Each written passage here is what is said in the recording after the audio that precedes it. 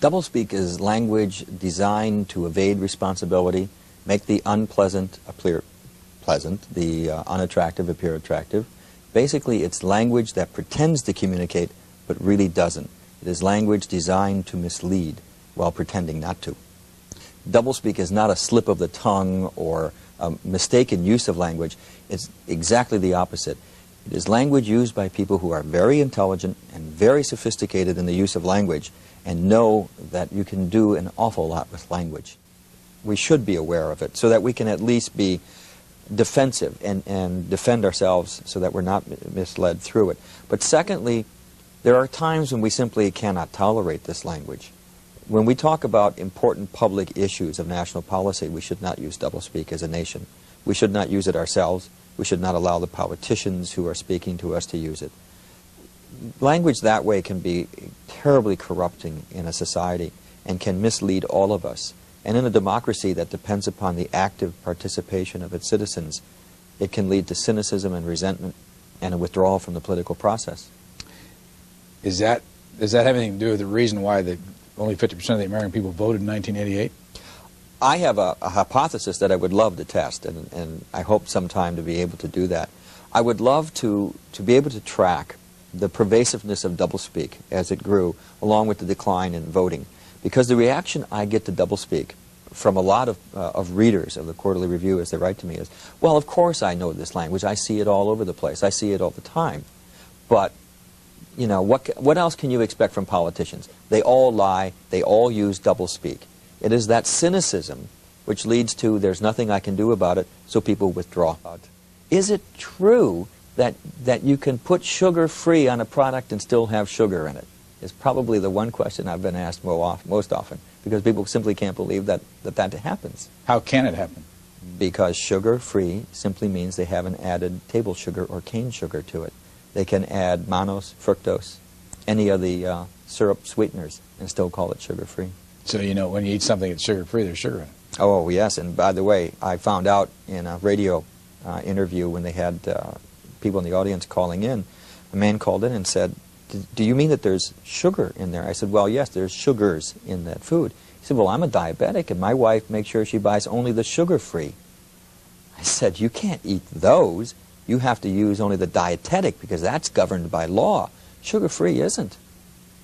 Here's a man who was threatening his health through this, this kind of false labeling. It was absolutely amazing. But the, the food, his novel, 1984, addressed the importance of language in society and the control and manipulation of language to control and direct uh, society. I think the most important point in 1984 is that power grows not out of the barrel of a gun. Power grows not out of the uh, thought police and rule by terror. It grows out of the power of language in that novel. What is reality? Reality is not external. Reality exists not in the mind of the individual, which soon perishes, but in the mind of the party, which is collective and immortal. What the party says is reality is real. And how else can the party do that? Except by language. Party has taken control of language and has taken it away from the individual. And that's the power, because those in power who control language control the way we see the world. See, any, any politician in power starts using doublespeak. The Democrats did. Right? I love Jimmy Carter's uh, comment on the failed raid to free the hostages in Iran. He called it an incomplete success. He did that without even thinking about it. He, it, he was just automatically using that kind of language. But we had doublespeak. So there's there's always a mixture of language because anyone who reaches any position of power must either instinctively or knowingly know how to use doublespeak and know how to use it at a certain time and when to turn it on and off and to what degree. You, you can simply track that in anyone um, in the rise to power. Uh, I'm trying to think of the great Spencer Tracy movie.